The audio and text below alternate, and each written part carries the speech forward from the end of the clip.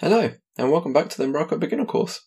In this lecture, we will have a look at Umbraco itself and what it is. So, what is Umbraco? Umbraco is a C Sharp.NET MVC based CMS. So, what that means is in the back end, it is developed in C Sharp and it runs as an MVC project, uh, which is open source, so anyone can contribute and view how Umbraco was created, which is great.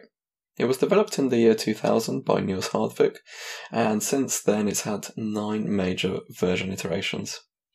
Umbraco receives um, updates very regularly, um, especially if there's any new features or uh, security patches, and it has a lot of um, minor version iterations all the time.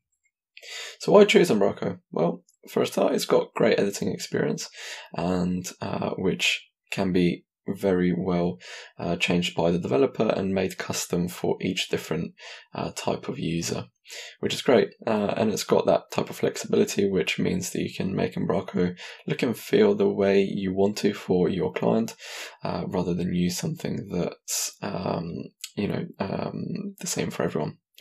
It's also easy to host, um, uh, especially now that Umbraco 9 is out. You can host it on many different operating systems, which is great, especially for uh, saving money if you're hosting in the cloud. And you have a, uh, a large amount of specialized Umbraco partners. These are in the forms of uh, certified developers or companies, which are Umbraco um, partners, and they are ready to help you, um, whether it's to develop a new website, um, host it, improve it, or just maintain it for you. So yeah, those are some of the reasons why you should pick Umbraco.